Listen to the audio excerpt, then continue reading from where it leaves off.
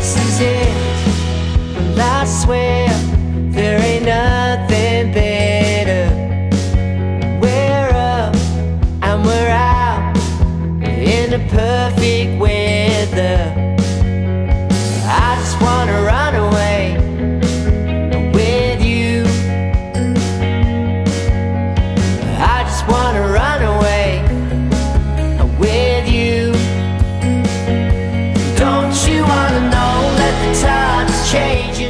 Hey Fiberista, so I'm back uh, with another demo from my beach trip.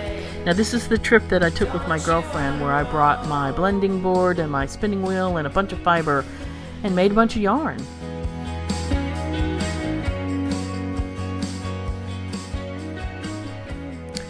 So here I am at my blending board and I'm going to make a gigantic rolag uh, to spin some art yarn with. And what I'm doing here is putting some locks on first. Now I like to have the locks to pop out and I'm I'm making this with weaving in mind. So I want the locks to pop out of my fabric.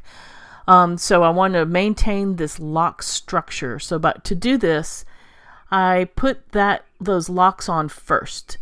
And I want them I'm going to press them deep into the board with my brush. And what that's going to do is that's going to protect that lock structure from being broken up by the brush and by my hand cards as I add other fibers to it. And this is also going to put those locks on the top of my rolag, which is where I like them to be. I like to have them visible so when I come across them as I'm spinning, I can manipulate them. So here I'm adding some blue farm wool um, to the mix as well. Um, not too much, just a little bit. I want just a little pop of blue. This yarn's going to primarily be a white yarn with pops of color and texture. Anyway, I'm digging around. I'm going to pull out some, I think this is either milk silk or soy silk. I'm not sure which. And as well as some Angelina. Got to have a lot of sparkle in this yarn. Um, I'm going to use my brush to put that into the teeth because it, since it's such a fine fiber, I don't really need to use my hand cards to break it up. I'm going to add some more farm wool. I think I'm adding some more farm wool. I'm digging around. Yes, nope, I'm adding some banana silk. This is uh, I get this from the some mills in India. They use this fiber to make saris with. I'm adding some more farm wool. Um, and I'm going to let this farm wool be a little more textural. I'm going to let the crimp show a little bit. So I'm not going to use my hand cards. I'm just going to use my brush to push it into the teeth as lumpy as it can be.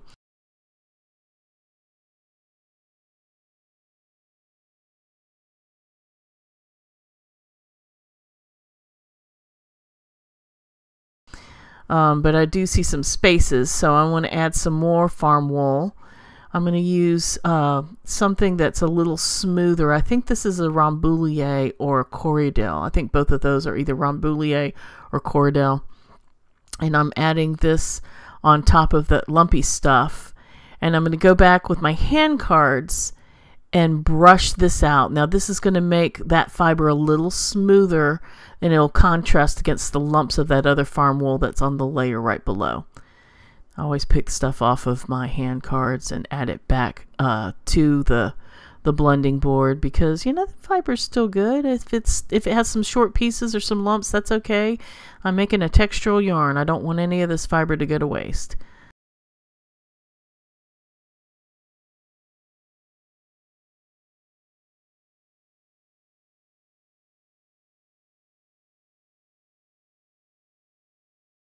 And then of course go back over with my brush to push those fibers deep into the teeth so I can add more fiber on top. I'm going to add some some more sari fiber. Now this sari fiber has been run through a drum carder so it's more has more of a texture of like a wool fiber like the farm wools.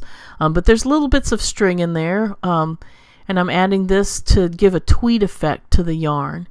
I'm going to go back over with my hand cards to smooth it out a little bit. Um, and then again, not wasting any of the fiber on my hand cards since I'm not looking for a super smooth yarn here. Um, so anything that's on my hand cards is fair game.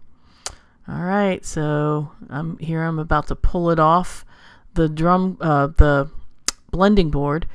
I'm uh, using my my brush to pick up that fiber a little bit out of the teeth, especially those locks that I had uh, pushed way down into the teeth. Sometimes I just need to get those the bristles of the brush underneath those fibers to pull it up so I can add it, um, roll it onto the rolag.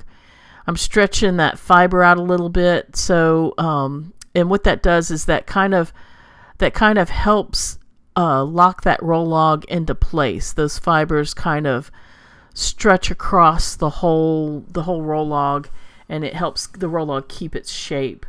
Again, continuing to pick those locks from out from the teeth that are in the bottom of um, of the that stack of fibers. Now this yarn, as I mentioned before, I'm going to uh, be using it for weaving. So I'm just going to do this one rolag. It's not going to yield a whole lot of yardage, but that's okay because in weaving I don't use as much yardage and I like to kind of paint with my yarn when I'm doing my art weaving. So so just, just a little bit of, of this art yarn is going to be just fine. You can see it got uh, a little stuck on my sticks uh, because I rolled it a little too tight against the sticks. But I managed to get it off. Anyway, so this is the yarn. This is the final yarn. In the next video, I'm going to show you how I spun this up. But this turned out to be a total of about 18 yards. Again, that's a that's a good size for for a little accent in the art weaving when I mix it with some plainer yarns um, which I'll probably be doing later on this month. Anyway, but check out the next video where I show you how I spin this core spun yarn. Alright, thanks for joining. I'll see you guys next time.